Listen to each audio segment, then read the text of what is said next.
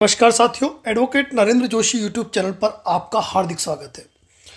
आदर्श credit latest update के अंतर्गत आज हम आपके सामने आदर्श क्रेडिट कोऑपरेटिव सोसाइटी की एक रिट के संदर्भ में स्पेशल अपडेट देने के लिए प्रेजेंट हुए आपको बता दें कि आदर्श क्रेडिट कोऑपरेटिव सोसाइटी के संदर्भ में मात्र 30 निवेशकों की ओर से एक रिट याचिका माननीय राजस्थान उच्च न्यायालय में प्रस्तुत की गई थी। दिनांक 25 फरवरी 2020 को।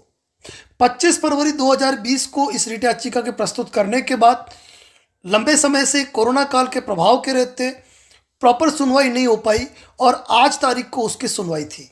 इस रिट के बारे में लेटेस्ट अपडेट दे रहे हैं हम आपको कि आज दिनांक 18 ग्यारह 2020 को इसकी हियरिंग थी कोर्ट में। 30 नंबर पर और 30 नंबर पर हियरिंग होने के कारण इस रिट याचिका के अंतर्गत क्या लेटेस्ट अपडेट है आप सुनिए। लेकिन उससे पहले मैं आपको बता दूँ कि इस रिट याचिका के अंतर्गत 30 निवेशकों ने मिलकर, आदर्श क्रेडिट कोऑपरेटिव सोसाइटी के 30 पीड़ित निवेशकों ने मिलकर इस रिट याचिका को प्रस्तुत किया था, जिनके नाम आप डिस्प्ले पे देख सकते हैं। वह सभी निवेशक जो इस रिट में शामिल है, वो अपने नाम यहाँ पर देख सकते हैं। आपको बता दें कि इस रिट याचिका के अंतर्गत जो रेस्पोडेंट है, the union of India central registrar, Bharat सरकार S F I U S O G state registrar, Adarsh credit cooperative society, प्रबंधक मंडल और Adarsh credit cooperative society, liquidator महोदय। और इनके पक्षकार बनाते हुए यह जो रिट याचिका प्रस्तुत की गई थी, आज 18 ग्यारह 2020 को माननीय राजस्थान उच्च न्यायालय ने केंद्र सरकार, ज़रिए central registrar S F I U S O G और जो भी कंसर्न डिपार्टमेंट है, सभी को नोटिस जारी कर दिए।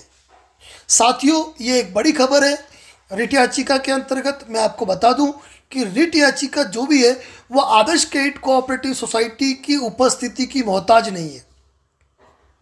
कोई डिपार्टमेंट आता है नहीं आता है, अपना रिप्लाई प्रेजेंट करता है, नहीं करता है, उससे कोई फ़र्क नहीं पड़ता, क्योंकि कोर्ट को कुल मिलाकर पीड़ित निवेशकों के अधिकारों का संरक्षण करना है। कुल मिलाकर पीड़ित निवेशकों के लिए अब वो समय आ गया है जब उनके रिट याचिकाओं की प्रॉपर सुनवाई होगी और उनके साथ न्याय होगा। संपूर्ण हिंदुस्तान के निवेशकों को ये मैं कहना चाहूँगा, मेरी बात को ध्यान से सुने कि आपने हज़ारों कॉल रिकॉर्डिंग सुन ली, हज़ारों ज्ञापन दे दिए, कई मिनिस्टरों से बात कर ली, लेकिन हर जगह से आपको केवल और केवल एक ही शब्द सुनने को मिल रहा है, और वो शब्द क्या है? कि सारे मामले न्यायालय में लंबित है, अब न्यायालय के आदेश से ही कुछ हो सकता है। इसीलिए मैं प्रत्येक निवेशक से ये कहना चाहता हूँ, चाहे आप कश्मीर से हो या कन्याकुमारी से हो, अपने अधिकारों का संरक्षण करें किसी अच्छे हाईकोर्ट एडवोकेट से मिले और अपनी रिट याचिकाएँ माननीय न्यायालय में प्रस्तुत करें, अन्यथा आपकी गाढ़ी मेहनत का पैसा, आपका जीवन भर की पूंजी आपकी डूब जाएगी और कोई राशि आप, आपको नहीं मिल पाएगी। इस मामले में कहना चाहता हूँ, अपने अधिकारों का संरक्षण करें और हाईकोर्ट के अंदर यदि आपने अब तक अपनी रिट याचिकाएँ प्रस्तुत नहीं की है तो कंसर्न हाईकोर्ट में अपनी रिट याचिकाएँ प्रस्तुत करें ताकि समय रहते कम से कम आपके पक्ष में एक आदेश आए और भविष्य में आपको आपकी डूबी राशि किसी भी रूप से मिल पाए। बाकी तो आप देख ही रहे हैं कि लंबे समय से लिक्विडेटर अपॉइंट है, लेकिन वह कोई प्रोसेस नहीं कर पा रहे। इसीलिए आपके सामने केवल और एक, केवल एक ही विकल्प बचा है कि अपने अधिकारों का संरक्षण करते हुए हाईकोर्ट में रिट याचिकाएँ प्रस्तुत करें। यह जो रिट याचिका जिसका अपडेट मैंने आपको दिया है, यह तीस निवेशकों की मनोहर लाल जोशी, बनाम भारत सरकार है। इसके अलावा भी आदर्श क्रेडिट कोऑपरेटिव सोसाइटी के संदर्भ में लक्ष्मी नारायण पाटीदार बनाम भारत संघ, जिसमें पच्चीस सौ अट्ठासी निवेशक शामिल है। ललित कुमार व्यास बनाम भारत सरकार, जिसमें कि पंद्रह सौ अठहत्तर निवेशक शामिल है। चंपालाल बनाम भारत संघ, जिसमें 840 निवेशक और इसके बाद अंबालाल नागदा बनाम भारत संघ, जिसमें कि 290 निवेशक शामिल है। उनकी रिट याचिका संबंधित जो भी अपडेट आएँगे, उनकी डेट पर आपको इसी रूप से पहुँचाए जाते रहेंगे। आप व्हाट्सअप करें या किसी भी तरफ़ से अपडेट पूछें, लेकिन अपडेट आपको तभी दिया जा सकेगा जब कोर्ट से कोई अच्छी खबर हमको मिले।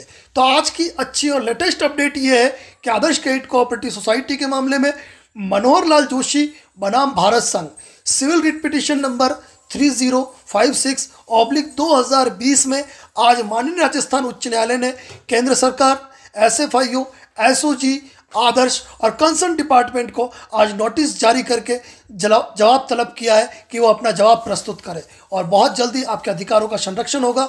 अपना अपना उम्मीद अपने बनाए रखें, अपना भरोसा कायम रखें। और कोई भी अपडेट चाहिए तो निश्चित रूप से आप हमारे मोबाइल नंबर पर हमसे कोई भी अपडेट ले सकते हैं।